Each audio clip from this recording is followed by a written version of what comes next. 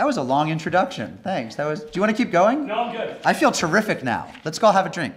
Um, so it's it's such a pleasure to be here. Uh, as Justin stole my introduction, um, I was going to mention that although I am not a son of Williams College, I am a son-in-law. Um, my wife was indeed class of 98. We were indeed married in Thompson Memorial Chapel uh, just over 10 years ago. It seemed to be auspicious. Things have gone well. Still married.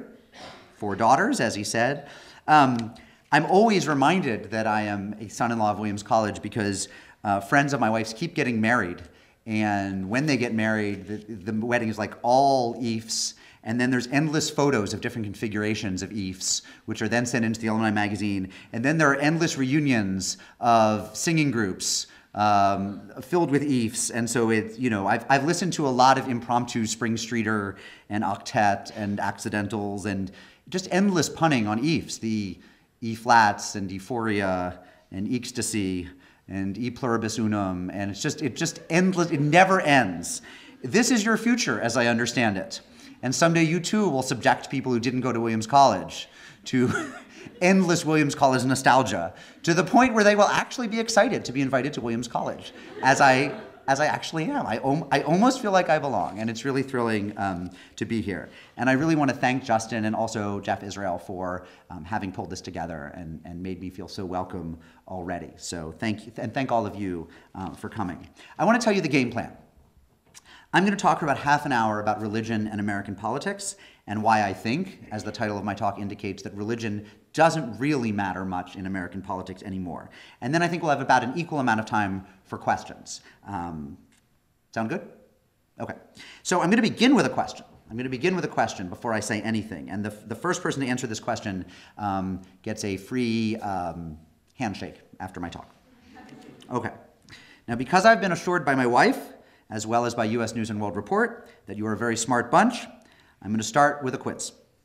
With a show of hands, who here knows who Theodore James Kushner is?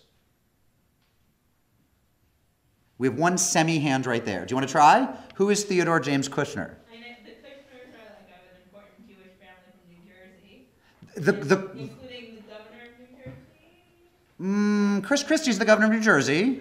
So you may remember him. From, Justin, what are you teaching these kids in leadership studies? But, but, Jewish studies student. I can't. but she is, but, Not even Jewish studies. But our friend here is the only one who even ventured an answer to this important question, and you know, you've you've you've you've identified Kushner as a Jewish last name, so that's a start. Okay, so well done. Um, thank you for trying. No, th- there are points for trying. Does anyone, now that you've had a moment to think about it, who is Theodore James Kushner? Does anyone know who Theodore James Kushner is? Theodore James Kushner is the grandson of Donald Trump. I mean Trump. Um, he, what's more, he is the just recently born Jewish grandson of Donald Trump. In fact, he is the Orthodox Jewish grandson of Donald Trump, born, of course, to uh, noted Jewess Ivanka Trump, uh, who converted to Judaism when she married the uh, wealthy and Jewish Jared Kushner, not of the Jersey Kushners, but in fact of the Manhattan Kushners. They are the even richer cousins to the Jersey Kushners. So uh, this is a very, very important person, and not only because little Theodore James um, Kushner, just shy of his first birthday, could be sleeping in the Lincoln bedroom of the White House uh, if the primary voters of New York and then the, the presidential voters of America have anything to say about it, right? So not only is, is his name important for that reason, but also because, as I'm going to explain, the existence of little Theodore James Kushner, um, grandson, Jewish grandson, Orthodox Jewish grandson of Donald Trump, says something very, very interesting about American religious politics today. In some families, having a daughter leave the faith to convert to Judaism might be a big deal. Except that in the case of the Trumps, whom we've all gotten to know so well, it's not clear that there's any family faith to leave. Trump seems to be something of a lapsed Presbyterian, maybe, we're not sure. He has attended Marble Collegiate Church in Manhattan, which is a Dutch Reformed church, which is kind of a cousin to the Presbyterians. The, the Presbyterians were Scottish Calvinists, and the Dutch Reformed were Dutch Calvinists. Um, Marble Collegiate Church, which is in Midtown Manhattan, um, just south of, of, of uh, the library, was made famous by Norman Vincent Peale, who was the author of the great mid 20th century mega selling book, The Power of Positive Thinking, which was sort of a guide to Christian living, but really it was more of a manual for business success. And in some ways, it was the, the book that started it all when it comes to motivational speaking and, dare I say, leadership studies. The idea that we can harness wisdom toward the kind of abstract idea of what it means to lead and to succeed really started in some ways with books like Dale Carnegie's How to Win Friends and Influence People, and then later with books like Norman Vincent Peale's The Power of Positive Thinking. So Trump comes out of a tradition that's vaguely Christian, but really it's about Christianity as a guide to um, succeeding, to making money, to being happier. In that way, it's a grandfather to all of those late night televangelists who promise that if you just pray hard enough and just worship loudly enough, that you'll have great business success right? You, you know what I'm talking about. This, to put it simply, is not exactly the message of Jesus in the New Testament, if you read closely, but it is the message of a particular strain of American Christianity. And it seems that Trump, if he has any religiosity at all, um, hews to that particular strain. Of course, even within that, even within that tradition coming out of Norman Vincent Peale, Trump is not particularly pious. He does not seem to ever go to church. His rhetoric does not seem to be influenced by Christianity, and it's not at all clear that he knows anything about Christianity. Um, as for the other evidence that one might adduce that he's some sort of pious man or some sort of Christian or follower of Christ, you might look at how he lives his life.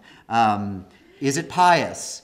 Um, does he have a reverence for the sanctity of human life and human relations? Does he live in honest reverence of other human beings, other creatures of God. Um, you could ask any of his three wives uh, if, if they feel that, that that's the case. Um, it seems like there's not a strong argument that Donald Trump is particularly religious.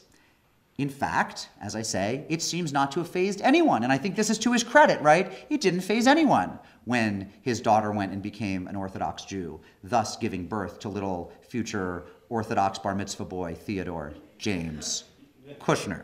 We'll be quizzing you on the name at the end. Um, if in fact that's the case, if in fact the man who may today be coming very, very close, did he win the primary, by the way? Do we know yet? It's not time yet. We don't know yet. But he may be very, very, very close to being the Republican nominee for president. If in fact it's the case that he is so irreligious, that his Christianity means so little to him that he basically doesn't give a damn if little Theodore James Kushner ends up an Orthodox Jew. On the one hand, you can say, yay for pluralism, isn't America grand? But we could also say, how interesting for American electoral politics that somebody who's fundamentally irreligious seems to be so close to the White House. And yet, if we look at the other people running for president, it actually seems that maybe Donald Trump is not that exceptional. Historically, we've tended to elect fairly traditional mainline Protestants, Southern Baptists like Bill Clinton, um, Congregationalists, Episcopalians, like the first George Bush, things like that. But if you look at who's running this time around, it seems that something, while we weren't looking, really, really changed. It is true that Hillary Clinton is herself a daughter of the Methodist Church, but it would be difficult to argue that she has led a sort of traditional married life. It would be tr- difficult to argue that the Clintons themselves embody the kind of staid, moralistic family values that we expect of our mainline Protestant politicians. If you look at Bernie Sanders, what you have is a secular Jew, twice married, first to a Jew, then again to a Christian. And do you know which one of those two wives gave birth to his son? Who thinks it was the first? Got one person. Who thinks it was the second? Who thinks it was neither?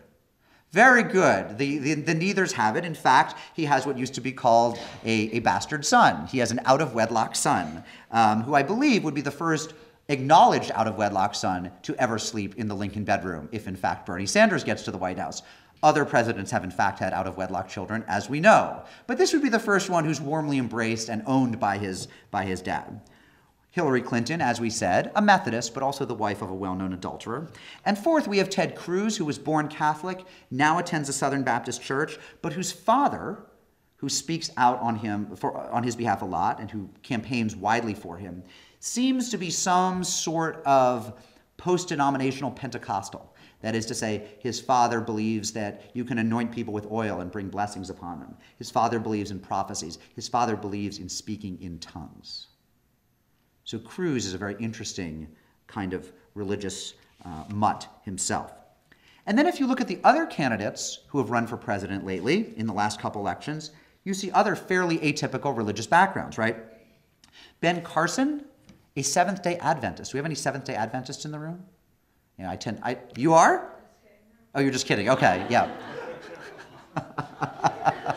I like the droll sense of humor. It's, it's, it's a little bit funny to, um, uh, when I when I, when I I often begin, I often speak on Scientology, and when I give speeches on Scientology, I always begin by saying, "Do we have any Scientologists in the room?" And then there's always a few jokesters whose hands go up. But then, of course, I have the lingering suspicion that maybe, in fact, they are Scientologists who have been to, sent to spy on me and see what I say about Scientology. Uh, ben Carson is a Seventh Day Adventist. I don't know if any of you know anything about uh, Adventism. But of course, it uh, began out of the Millerite movement in the 19th century, who thought they could predict the day on which the world was going to end in 1844. And when the world didn't end on that day, they pushed the date back and they recalculated and they said, well, it's going to end on this date, but then it didn't end on that day, so they pushed it back again and they kept pushing it back. And let's say, just say that the Seventh day Adventists have stopped predicting exactly when the world's going to end, but they know it's really, really soon. Okay? That's Ben Carson's religiosity. Um, they also are for the most part, vegetarians, which is very interesting. I don't know if Carson himself is an Adventist vegetarian, but it's likely that he is, which I think would have made him the first vegetarian president. Mitt Romney, the 2012 Republican candidate, as no doubt all of you here know, was what he would call a Latter day Saint and what the rest of us would call a Mormon. So, in short, when you pull the lens back a little bit, it seems like the days when Americans elected old line Episcopalians like Papa George Bush or Congregationalists like Barack Obama, or even fairly typical garden variety evangelicals like George W. Bush, those days may seem to be over. Things are getting awfully weird. Awfully weird. And yet, how could this be? Because for the past 40 years, starting when I, about the time I was born, and definitely when I was in college about 20 years ago, and, and down through the education that you're getting now, we've been told that there's this massive voting bloc in America made up of conservative Christians, right? All of us, no doubt, have heard something about the Christian right or conservative Christians. We're told that they exercise this enormous sway in the Republican primaries. We're told that you can't win certain southern states unless they're on your side. And these conservative Christians are Southern Baptists, some of them are Methodists, some of them are megachurch, um, non denominational Bible church Christians, as they would call themselves. But they tend to believe in things like the sanctity of human life, as they would define it. So they, they would say they're against abortion. They would say uh, that they believe in a literal reading of the Bible or a mostly literal reading. There is variety on that. Um, they would say that they think that divorce is problematic. They would say that they think that um, sex out of wedlock is problematic, right? We, we know the stereotype. We know what these conservative Christians believe. And yet, how is it that they seem unable of giving us a candidate or peopling the fields of presidential contenders with anyone who looks remotely like them? Right? I mean, Cruz would be the closest you would come, but again, even he was born Roman Catholic, and his father is a kind of uh, Christian that most of them would say that they're not. There is nobody right now in the current election cycle who fits the particular mold of just evangelical Protestant piety that we think that the conservative Christian right wants to give us. And in fact, in fact, when you look at polls of whom they are supporting in the current election cycle, many of them show that conservative evangelicals are supporting the thrice married, lapsed Presbyterian grandfather of Theodore James Kushner. Why on earth would they be supporting Donald Trump? It just doesn't make any sense according to the narrative that we know. To the extent that evangelicals had a candidate who looked like them, it was Marco Rubio, who very much presented himself as a clean cut, Bible believing son of, eh, Florida's not quite the Bible Belt. The northern part of Florida is the Bible Belt, okay? But even then, they couldn't save his candidacy at all, right? He, he really went down in flames fairly early in the process. And in fact, if you look at his narrative, he wasn't that typical an evangelical either. Uh, as I discovered a number of years ago when I was reporting on Marco Rubio, he was either Roman Catholic or evangelical, depending on which audience he was speaking to. Now, why would this be? Marco Rubio, of course, is Cuban American. And in the old line Cuban community of Miami, there's great reverence to this day for the Roman Catholic Church. So that meant that when he was trying to shore up the Cuban vote in Miami, He was all about his Roman Catholicism and all about his local parish church and the Catholic priest and the Pope. But when he wanted votes from the megachurch evangelicals who people so much of the rest of Florida, he would talk about how he goes to his wife's Bible church. So he was either Catholic or evangelical, and somehow neither side seemed to catch on that he was playing them for, for suckers when he was talking to the other side. Okay? So I would argue that, in fact, even Rubio is not a candidate who has ever seemed ideal to the Christian right. He was a fairly problematic candidate. By the way, Ted Cruz's dad, the Pentecostal Christian, who supposedly is a Bible believing, good family values guy, twice divorced. Okay. So what you see is a, is a field of candidates just littered with people who 50 years ago or 100 years ago would have been unacceptable to anything that you, we think of as the Christian right. So how does that work? How is it that we have this narrative where we have this very, very powerful conservative Christian coalition, and yet none of the candidates seem to reflect that, right? And, and yet it could be a Sanders-Trump competition in the end, or, or a Hillary versus Donald Trump competition. Something is begging for explanation here. Along the way, everything changed. Evangelicals today apparently will vote for Mormons. Mitt Romney got a majority of their vote, even though they believe that Mormonism is heresy. Right? They do not believe that Mormonism really constitutes Christianity, and yet they were perfectly willing to vote for him. It appears they will vote for Donald Trump. If evangelicals will vote for Mormons and Catholics will vote for Jews and everyone will vote for an adulterer, and nobody cares about Bernie's out of wedlock son, and nobody cares that Trump has no religion at all, what on earth happened? That's the question I want to answer in my remaining few minutes. The first thing I would say is that in America today, everybody seems to be in a mixed marriage. Now, by mixed marriage, I don't mean what we think of, which is somebody Christian who marries somebody Jewish, uh, or somebody Muslim who marries somebody, somebody Hindu. There's a, there's a lot of that, don't get me wrong, okay? But what I would argue is that in America today, even most Christian couples are in some sort of mixed marriage. Most people who grow up Methodist do not marry other Methodists. Okay? Now, believe it or not, they used to. If you go back 50 or 75 years and you were a young Southern Methodist, you would go to Duke University to find another Methodist. How many of you even knew that Duke was a Methodist school? We got one, got, got two or three here. Yeah. What's, where would you go if you were Presbyterian? You'd, sorry? Princeton was one place you would go, and if you didn't get in there, you'd go to Davidson. Okay, that was where that was the that, that was where you'd go if you were Presbyterian and didn't get into Princeton, right? And if you were Baptist, you might go to Brown, which probably very few people here knew is a historically Baptist school, or you would go to Bates. Okay, so these schools had denominational identities. The idea was that when you went off to find a spouse, you actually found someone who was within your denomination. So there was a much more rigid sense of what passed for acceptable religiously.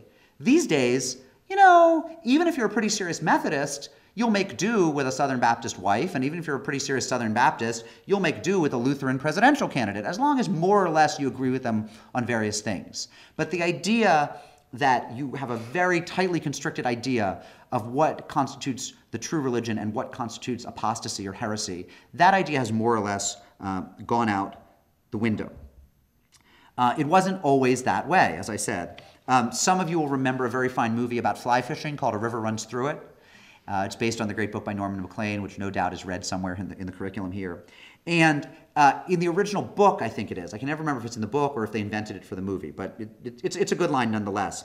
Um, the children are, are, sons of a Presbyterian minister, and their mother is a very, very rigid and sort of strict Scottish Presbyterian. And at one point, one of the sons comes home, and it turns out that he's, he's, he's squiring a new lady around, a new girl. And um, his mother wants to know what religion the, the, the, young lady is. And it turns out that she's Methodist. And the mother's just horrified. I'm a Presbyterian woman, and her son is dating a Methodist. And she says, A Methodist? That's just a Baptist who's learned to read. and it, it, it gives you a sense of how profound the sense of difference was, even within what we would think of as very, very similar Protestant denominations. But today, that sense of loyalty has simply dissipated to the point where almost everyone is in some sort of mixed marriage. By the way, I would even argue that two atheists or people who have no particular interest in religious belonging when they get married are often in a mixed marriage. Often one of them is a die-hard rationalist hardcore atheist, and the other one is kind of spiritual and you know gets spirituality through walks in the woods or says that yoga brings him closer to God or something like that. You know, one of them's one of them's a little more airy fairy and non-committal about uh, about atheism. Maybe there's a greater power somewhere. You, you you know what I'm talking about. Some of you are what I'm talking about. So. So that's the first thing is even within an irreligious couple, there is a sense that it's a religious mixed marriage. So that has changed, and that has made people more tolerant of the kind of candidates they will accept in the public sphere. Okay, the second thing that's changed is that the group that supposedly cares the most about candidates' religion, evangelical Protestants, has in fact proven itself over the past 50 years to be kind of flexible about what it believes. So, for example, in 1973, which you will know was the year that Roe v. Wade was decided in, in, the Supreme Court, in 1973, the Southern Baptist Convention, which we think of as one of the most conservative evangelical bodies in the country, they passed a pro choice resolution. They supported Roe v. Wade in 1973. Now, 11 years later, there was a conservative takeover of the convention's hierarchy, and the Southern Baptists moved to the right and they rejected those pro choice politics. But the truth is that what we think of as Christian conservatism has been very, very much in flux and was not as uh, it was not written the same way even just in the 1970s. Just to that point, in 1976, as between Jimmy Carter and Ronald Reagan, excuse me, Jimmy Carter and Gerald Ford, Jimmy Carter, the liberal candidate, got the majority of the evangelical vote. Now, in part, this is because he himself described himself as born again, which was not something that a candidate for high office had ever called himself before. Um, that was back when politicians weren't quite as public about their religion. But he called himself a born again Christian, and evangelicals felt he was one of their own, even though he was politically liberal. So back then, the Christian coalition, such as it was, was actually supporting the liberal candidate. By the way, the evangelical vote again went to Bill Clinton um, in his first run at office. So the evangelical vote has often been willing to go to people who have an evangelical sensibility, even if their politics are liberal. It wasn't until 1980 when evangelicals united behind Ronald Reagan that there was really this fusion that we come to think of as right wing politics plus evangelical Christian activism. The 80s were the heyday of what we think of as the Christian right. You had organizations like Ralph Reed's Christian Coalition. You had the men's group known as the Promise Keepers. Probably very few of you remember the Promise Keepers, but they used to fill stadiums with men, no women allowed just men holding hands and weeping and confessing their sins, their adultery and their boozing and their drinking and their drugging and their whoring, and promising that when they left the stadium, they would go back home to their wives, reborn, and be better men. Um, and I don't know what happened to the men, but I know what happened to the Promise Keepers, which is they don't seem to exist anymore. Um, they still have a website, but I've not heard of any, not heard of any Promise Keepers um, rallies. So this was in the 80s. There was this very, very strong fusion between what we think of as conservative or Republican politics and what we think of as Christian activism. How did that fusion happen about 1980, when only seven years earlier you'd had pro choice Southern Baptists, and when a couple decades later you'd have Donald Trump? What was going on around 1980? And the answer is that for various reasons, evangelicals and conservative Catholics decided that they liked Ronald Reagan. Um, they had gotten to know him in the mid 70s. He had run a kind of outsider campaign for president in 1976. We'd, he had almost taken the nomination from Gerald Ford. And between about 76 and 80, evangelicals and conservative Christians in general decided we like this Reagan fellow. Um, now, Reagan, of course, uh, was an interesting character, right? He had been a movie actor. He had been uh, president of the Screen Actors Guild, so he'd been a union man, but he had then moved very, very far to the right. He was a charismatic speaker. He'd been governor of California, where he had made his name by um, promising to quash hippie rebellions on the University of California campuses. So he was kind of a hero to the right. But there was a little bit of a problem, which was that Ronald Reagan was a divorcee. He'd been divorced. His first wife, Jane Wyman, was still out there.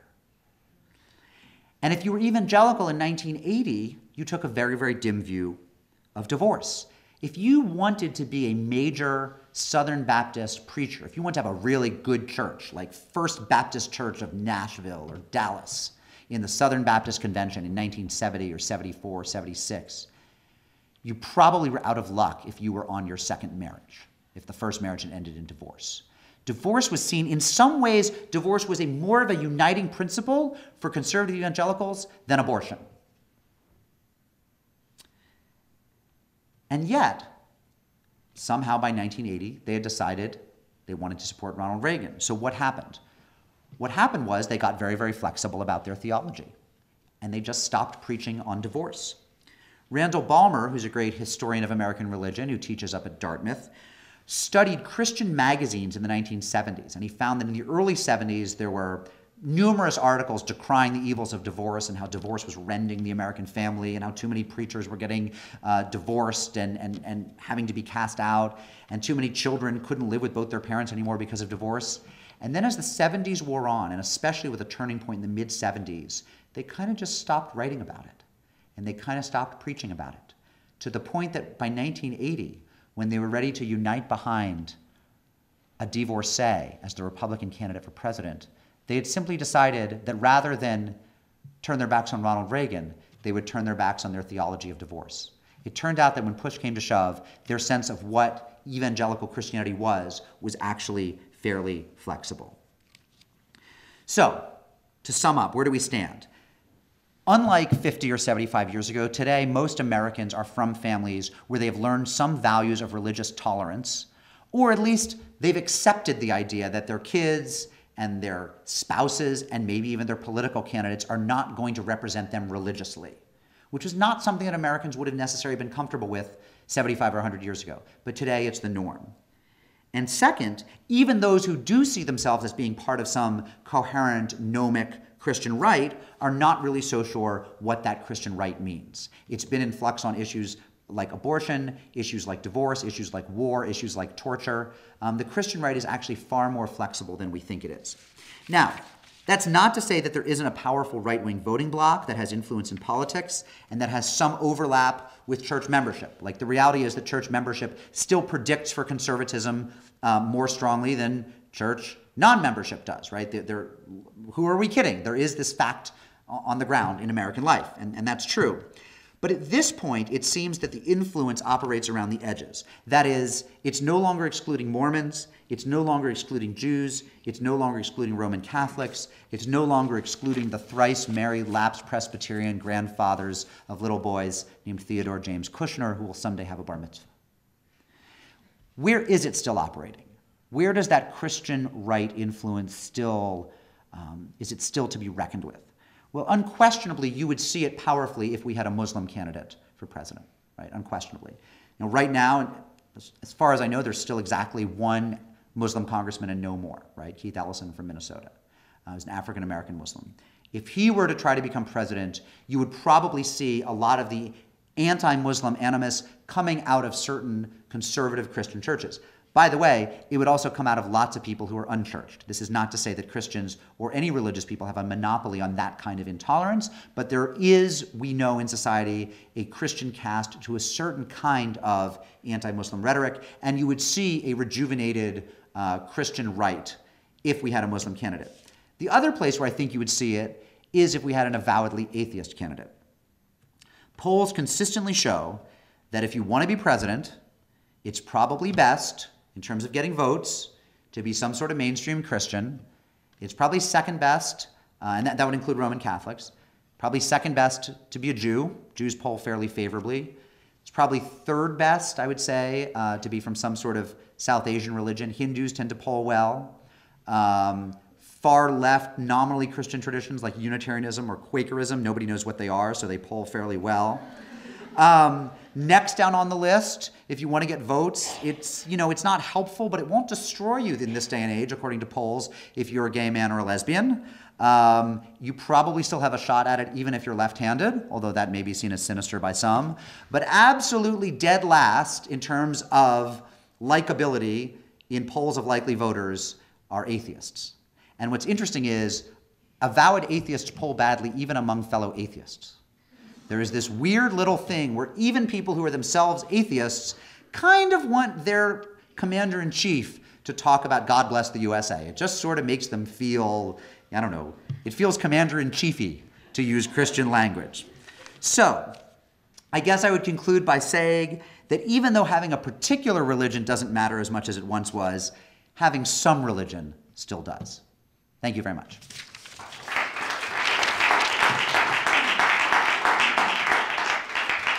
So I have no idea how long I spoke, but I think I left time for some questions.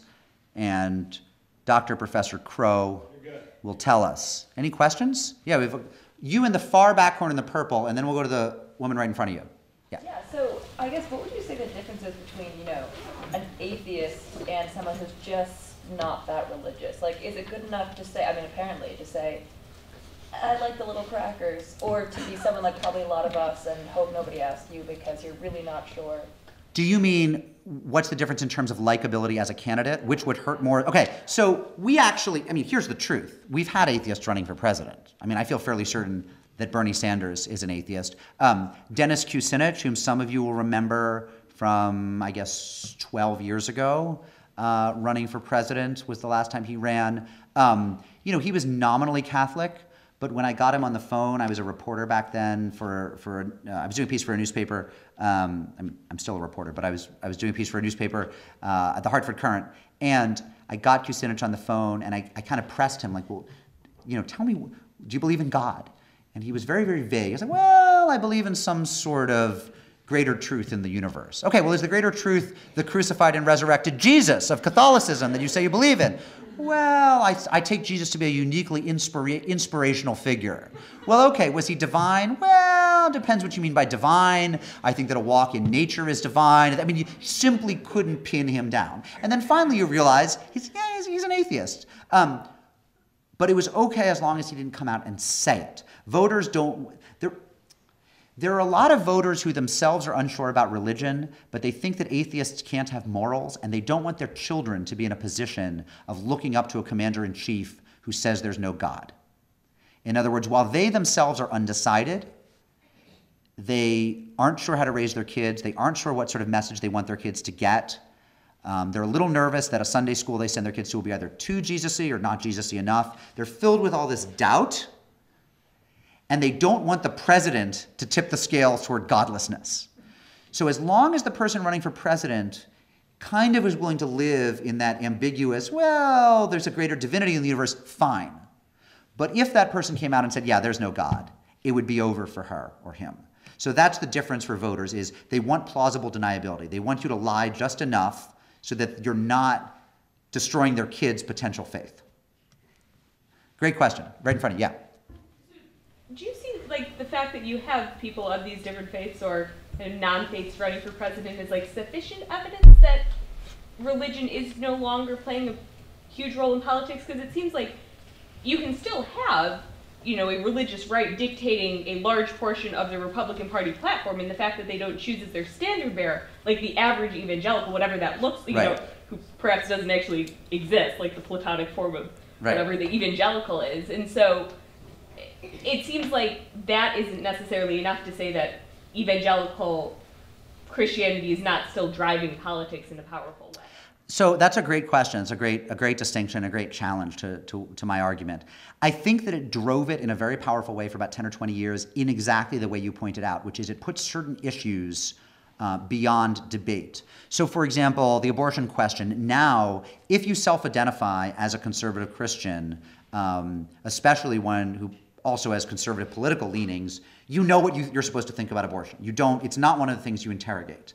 Um, and uh, interestingly, the death penalty is also one of those. There was this fusion of a certain kind of pro death penalty evangelicalism with Republican Partyism that put the death penalty out of discussion for a lot of evangelicals.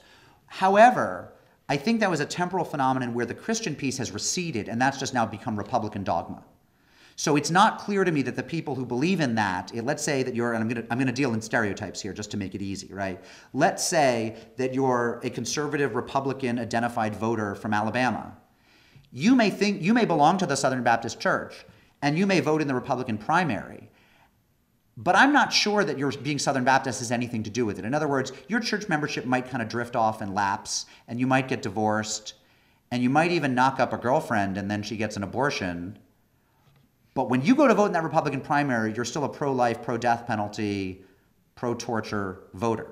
Because at this point, it's become Republican dogma. However, why did abortion com- become Republican dogma in that way? Because of 10 or 20 years of severe pressure from a particular interest group. Here's the other complication is evangelicalism has fractured so much in the last few years. And I didn't talk about this in my talk, but a lot of the really, really committed evangelical ministers and seminarians and, and, and mission workers today actually have swung back towards a more progressive politics in some way. So, for example, a substantial number of them are questioning the death penalty, are questioning torture, are questioning mass incarceration. Um, abortion still seems to have become just solidified as, you know, that the pro life position is Christian and Republican dogma. But on those other issues, um, the Christian influence has actually diverged from Republican influence in some ways. So I think that it's just not, um, th- there was a, a, a kind of uniformity of the two movements for a while there, and they've now diverged again, is what I think. Sir. Um, so where are we headed? Are the evangelicals going to be split between the two parties? Are the Republicans going to start uh, looking at these positions like the, the death penalty and abortion and uh, perhaps reconsidering them? Uh, what, what does this theory uh, say about?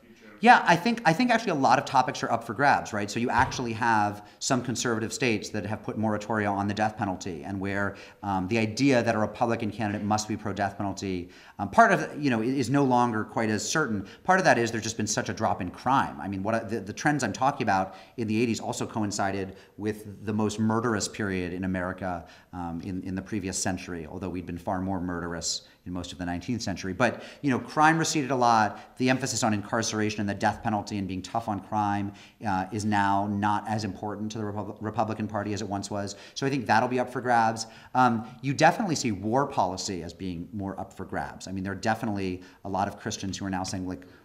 You know, who've forgotten as 9 11 has receded, the idea that we must be in Iraq or must be in Afghanistan um, has receded a bit. So I think a lot more things are going to be up for grabs. Here's the other piece of that the other piece is that religious identity is getting weirder and weirder in America. So the reality is that um, the Southern Baptist Convention, which was like the great success story of the second half of the 20th century in terms of just building a massive, unstoppable force of like conservative evangelical influence, um, actually, for the first time in, I think, 100 years, made fewer baptisms two years ago than it had the year before. Like in 2015, they baptized fewer new people than they had in 2014, and their membership rolls were slightly down.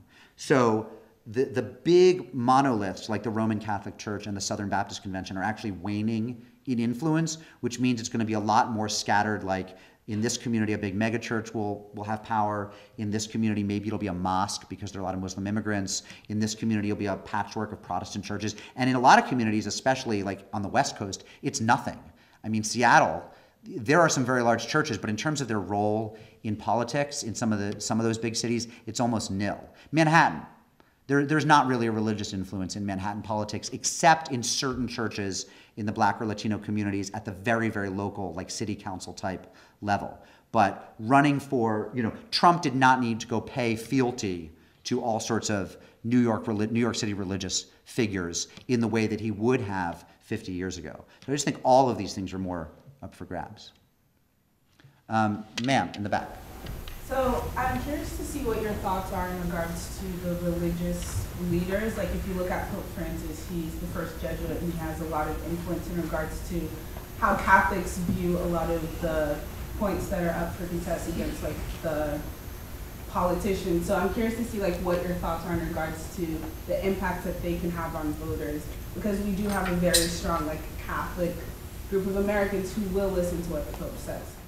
You know, you raise a great question when you mention Pope Francis. I mean, Pope Francis is, of course, like what religion journalists and scholars spend all of our time thinking about. Like, we wake up thinking of Pope Francis, and we go to sleep thinking of Pope Francis. And it doesn't matter if we're Jews, Gentiles, Muslims, Mormons, like, Pope Francis is what we think about. Um, and, uh, you know, he's been the great story of the past few years for us, as you correctly identify. Um, here's the thing, though. Um, you know, Pope Francis is enormously influential in terms of the public non Catholic perception of the Catholic Church. That is to say, I, as a sort of stereotypical liberal Jew, am genetically engineered to love Pope Francis. Okay. You know who else is genetically engineered to love Pope Francis? All of the Catholics who haven't been going to church for the past 50 years. They love Pope Francis, right? Um, the people who've actually been going to church in the Catholic Church, some of them love Pope Francis and some don't. So he's a very, very influential world figure. He's very influential on the worldwide stage and the American stage. Um, it's not at all clear how much influence he'll have in the Catholic Church because here's the thing you have to remember.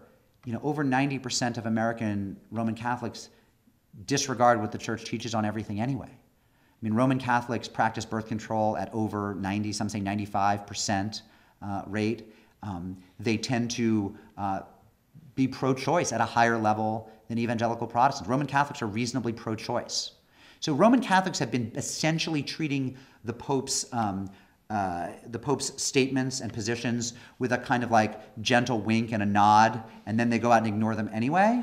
So here, but here's the question that we really have to see, which is, will Pope Francis's influence and his popularity bring Catholics back into congregational life? If he actually ends up filling pews with people who were disaffected, then those particular parishes and dioceses may end up being really, really interesting, funky places that end up having influence politically on a local level and being active and kind of mattering. But it has to be a result of people coming back into the pews. It can't just be a result of people digging his public persona. And I think it's the, the, evidence isn't really in yet on whether there are actual Catholics who are like, yeah, I left the Catholic Church years ago because of its position on birth control or abortion or whatever, but now because of Francis, I'm back. I actually haven't met many Catholics like that. And the sociological research is still too early to tell. So. Yes? Uh, I'm wondering to what extent is the flexibility that you talked about um, in the evangelical belief in the 80s that arises, what to what extent is that a result of, I guess, the reframing of evangelical religious doctrine towards, I guess, an doctrine of absolute forgiveness and which allowed someone like a Ronald Reagan to capture that vote.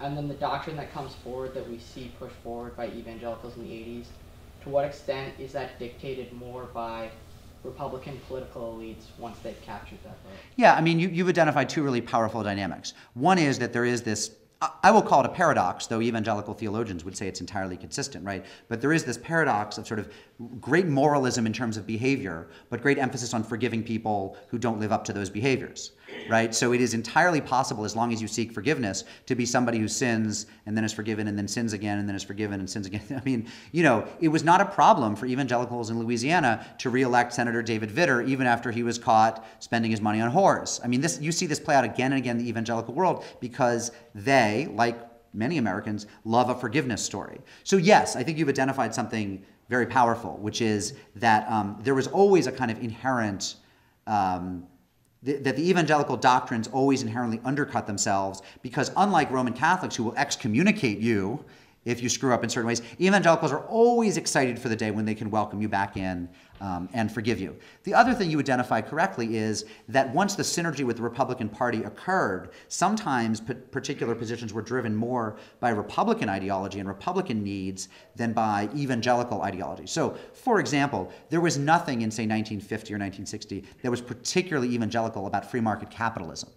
Although there's been a lot of good recent scholarship that shows how free market capitalists began trying to plant the seeds of their beliefs in evangelical communities. It was very, very cynical. There were some, some free market capitalist ideologues who felt if we can capture the evangelicals, they will become our army. And there is a way in which that happened. I mean, any plain reading of the New Testament, it's very hard to divine a political economy from it. But if you're going, if you're going to, it's certainly much more of a socialist political economy than a free market one. So the idea that we, we came to identify uh, conservative Christians with a free market economy is, is highly contingent, and it was very much driven much more by free marketeers than, than by Christians, I think. Um, yes, sir.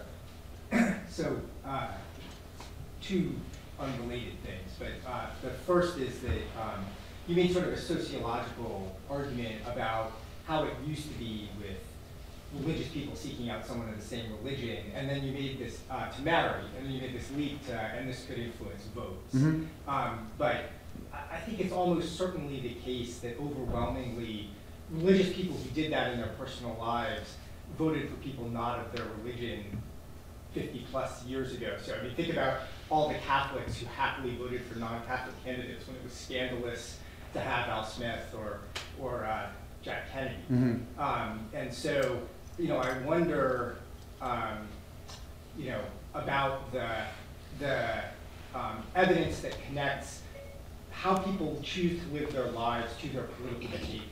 Right. Um, how, how, how you pull that through. And then, in a more recent, I guess I would ask, um, Bob Putnam and Dave Campbell did these uh, surveys, um, 2006, 2007, and 2011, about religion and society, a bunch Mhm. of things.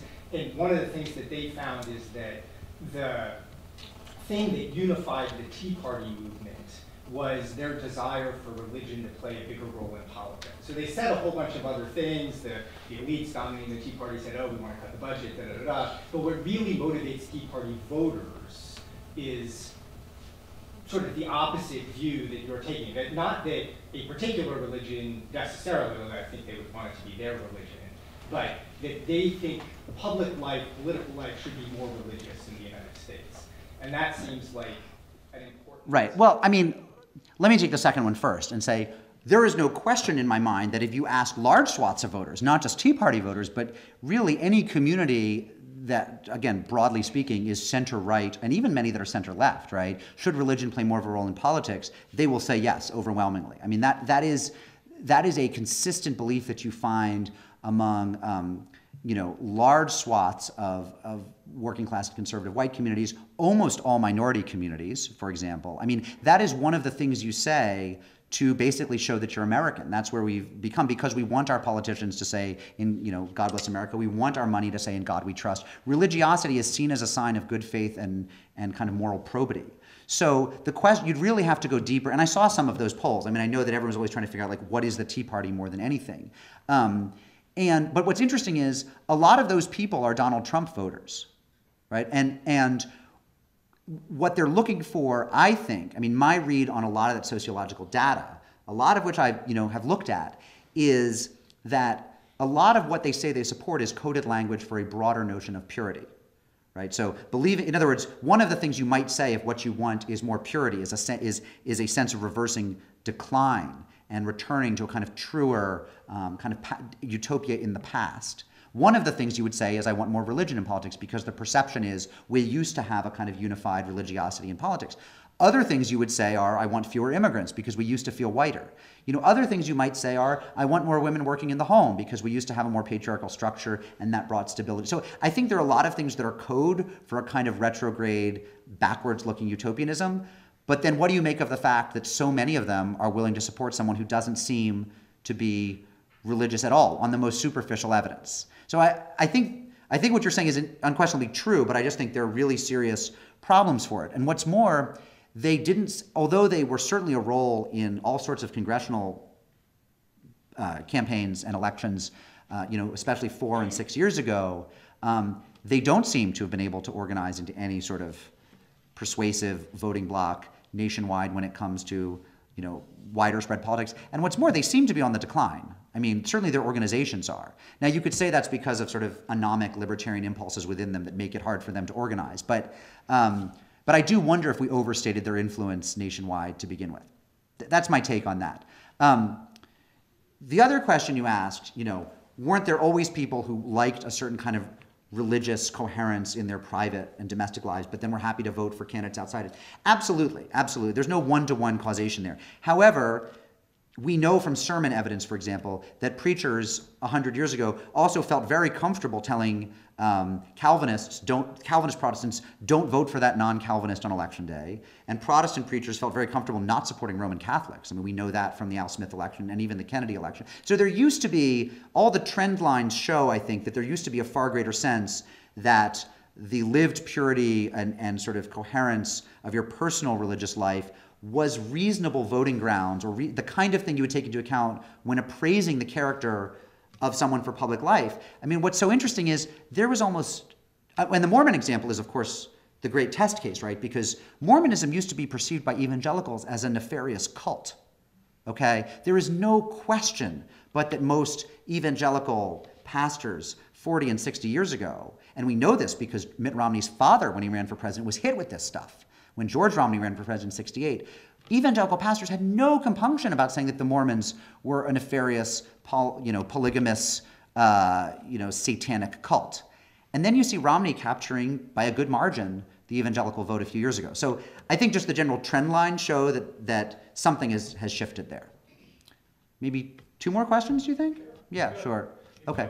Yes, in the plaid. Uh, so you were talking a lot about how I guess atheists really can't be elected because people think like they're inherently amoral. So That, that's my guess. We don't know why they won't vote for atheists, but we know that the people who say they're willing to vote for an atheist are very, very small. Uh, well, regardless, I guess I suppose I wonder if someone like, let's say, Bernie Sanders, even Donald Trump, who is not particularly religious, like, could the fact that they kind of both seem to have like very deeply felt like moral structures, independently, like very independent of a religious, I guess particularly Bernie Sanders, like independent kind of a religious structure, like, could that be helping them in some way? I mean, I, I think so. I think that's very shrewd. That one of the things that substitutes for religiosity in our public perception of them is they are people of deep moral conviction. They are people who believe in a right and wrong. They're not relativists. Um, at the same time, that almost proves too much because everyone who runs for office talks in that way, right? I mean, everyone who runs for office runs on these platforms of here's what's right and here's what's wrong and here are the five things that are going to fix it and if we break up the banks that'll fix it or if we put god back in schools that'll fit like that's almost in the nature of being a politician. So we still don't know what would happen if someone with a very strong sense of right or wrong and a very kind of aggressive, uh, overdetermined program like a Sanders or a Trump also said, and by the way, it's pretty obvious there's no God. This is the only life we have and we got to make the most of it. So let's break up the banks. I mean, we we don't know how that would play. Nobody's going to try it in the next 20 or 30 or 40 years. There have been, I want to say, two or three openly atheist Congress people. Pete Stark from California was one, and then he law, or he retired. And then in the most recent election cycle, there was another one. I think it might be the woman from Hawaii who is ancestrally Hindu, um, but I think says that she's an atheist, and I'm forgetting her name. Um, but like, at no time have there been two atheist Congress people which tells you something. And when they get when they do get elected, they get elected from very liberal and progressive and you know kind of off the left end districts. So it's not something anyone's going to try. And look, we are now at the point where we're electing queer congresspeople and not yet queer atheist congress. The atheism would be a much bigger drag on your candidacy. So the answer is we don't know, but everyone is so afraid of the um, if they say and by the way i don't believe in god or even some version of that they're so afraid of the 30 second ad spot that would be out the next day on the air with them saying i don't believe in god. I don't believe in god. I don't believe in god right? It would be the it would be the gif that would keep playing right? And i think they feel that would doom them. Yeah. If religion no longer occupies sort of like the sacred space within American politics, do you think that something has usurped it, or do you think that that calculus is changing? I, you know, I'm thinking back to Trump, and he's obviously you know, offended and marginalized the obvious groups, you know, Muslims, Mexicans, women, et cetera, but also like veterans, the disabled, like, you know, categories that I think would have also been within sort of sacred cow of things that you don't you don't really denigrate in Yeah. American politics. So do you think anything is occupying I mean, I'm going to offer a fairly unhelpful answer, which is that I tend to think that that you, you ever see those studies that show that the taller candidate always wins, or that you know the candidate who you know pronounces uh, you know rather instead of rather, or you know ketchup instead of catsup, or I mean, there's all, there's all those political scientists do this stuff. I'm always very persuaded by that stuff. I mean, I think the reason that people vote, I mean, you know, there's some obvious things like you need a good ground game, right? Like at, on election day, you still have to remind most people that it's election day because most people don't pay attention until the last week, right? So there's some obvious things in terms of organization and structure and running a shrewd campaign, but that, that are that are necessary. But beyond that, I actually think it's very odd that the same country that you know will elect George W. Bush will then pivot to Barack Obama. I, I think it's almost inexplicable. I think it has a lot to do with charisma. I mean, there are those studies that show that people will vote for candidates who have double consonants in their name because it, you know, it looks trustworthy. So, you know, the, the great example being the former New Hampshire Senator Judd Gregg with, with a double D and a double G, and everyone just loved that.